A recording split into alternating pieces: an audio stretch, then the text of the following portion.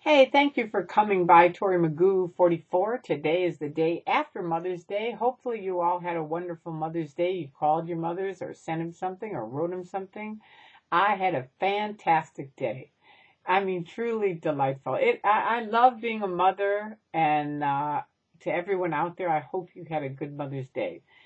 Um, if you didn't get a chance to call your mom, call her today. You know, it's never too late. That's one thing I learned. It's never too late to um, let someone know that you love them. I, my father passed away when I was, hmm, let's see, I think I was 22.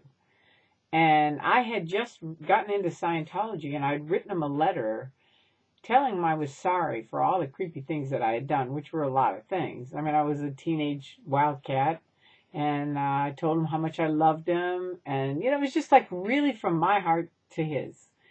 And shortly after that, he died. He had a heart attack and he died at, I think, 52. And nobody planned it. So I was like literally the only person that had said to him, you know, everyone was like, oh, I wish I could have told him this and I wish I could have told him that. But, you know, you don't plan on someone's going to die. Nobody does. And, uh, you know, luckily, thank God for me, I got to tell him everything I, I felt about him. But I always tell people Tell the people around you you love them because you never know how long we're all going to be here. And I believe in celebrating someone's life. If they do pass on, make sure to celebrate their life. Because uh, luckily, for most of us, we have really good memories about people we love, even if they've passed on. You've got the memories in your heart, and they're there forever. All right, so now for the new people that have left Scientology, um, there's all kinds of stuff going on, and someone asked me to make a video about this.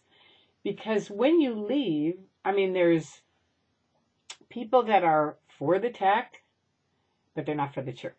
That's why they're leaving. There's people that are in the free zone, which is still, you know, kind of like for the tech, and they're using the tech in the field.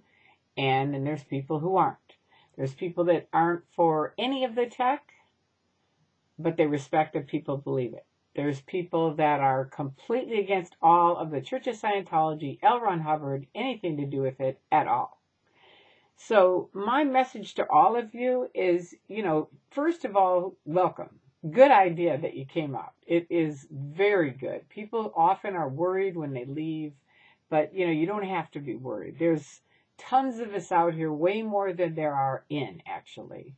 And uh, we welcome you. You know, we're happy that people are coming out. It's it's a we're having a good time. So that's number one. Number two is there's tons of information that you don't know because when you're inside, they shelter that from all of us. We all are the same. I'm still learning all kinds of stuff. So there's some great books that you can read.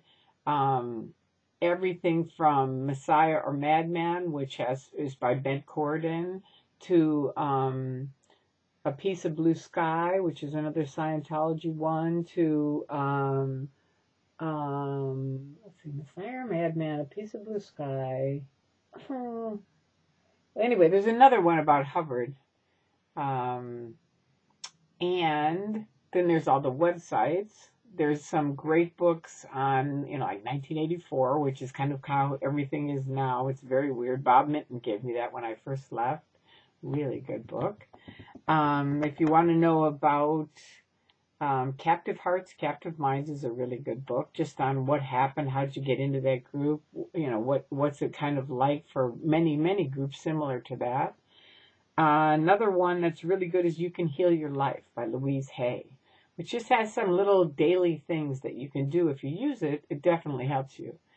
But the main thing is to understand that you don't have to be one or another of these different groups of people. You know, it's like just, you know, get on with your life, enjoy your life. If you have a story to tell, first of all, everyone I believe has a story to tell. So even if you're, you know, you may think, well, I didn't escape out, I just left. You know, that's fine. It doesn't matter. It doesn't matter what you did. Come tell us your story. You know, everybody's story is important. And they're all fascinating and they're all interesting. I mean, you heard Kevin the other night do his interview, and anybody else in this local area that would like to do an interview, give me a call. I would be very happy to interview you. And I think it's really important that people hear all kinds of different stories. I do. Um, but most of all, let's all work together because the main key thing OSA tries to do is divide and conquer. That's their thing. You know, cut them off, divide them and conquer, get everybody fighting against each other. That's always a product for them. So try to, you know, there are three main goals on the internet that they told me when I was working with them at the end. This was way at the end when I finally figured out what they were doing, which is basically stopping free speech on the internet. But their main three goals are A, distract anything and everything off of Scientology, L. Ron Hubbard, David Miscavige, any top secrets they don't want known. Get it off of that. And they will post anything to drive the topics down and onto the second page, right? So nobody reads it. The second thing is degrade any of the major critics that they don't like. And they'll get come in on private messages, different things, you know, just kind of trying to slime the person, right? And the third thing is they they just try to slime an area so that people literally don't want to put their name on it. And I remember asking Bill Yachty, I mean, isn't that going to be so obvious? It's the Church of Scientology. Once I actually went and looked on the internet and saw what they were doing, which at the day I looked, they were posting baking recipes, trying to drive the topics down, right? Okay, no. Yachty said no. They won't know because we're sliming all kinds of other areas too, so they'll never know it's the Church of Scientology. Well, I'm here to tell you that is what they do. And so stay away from it.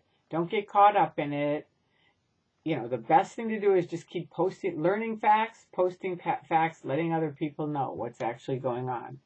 And uh, move on with your life, have a great life, and have fun. You know, that's, you know, that's what all of us are doing in various different ways, and I love it. There's a lot of different creativity. Anonymous is also a whole nother group that maybe the new people don't know about, but there's all kinds of information on that. You can go to Why We Protest and that's uh, mostly all the anonymous people over there, but they're sprinkled around too on the internet. And uh, generally, they have pickets every month, once a month, and uh, exposing the abuses of the Church of Scientology. So come on out and uh, have some good times. And if you're worried about family or friends inside, you can always use a an anonymous nickname, and don't give out much private information to anybody okay, until you, until you, you know, just your core personal friends. All right, so there you go. I hope that helps, and I hope you all have a great beginning of the week. And I hope you like my new my new microphone. I finally went out and bought one. You guys have all been saying get a new microphone. I thought you meant I had to get a whole new webcam, and I didn't have the money for it. But I finally got my new computer, and now I got a new microphone, and I hope it's going to sound better. So there you go. Peace out. I love you guys and have a great week. Bye.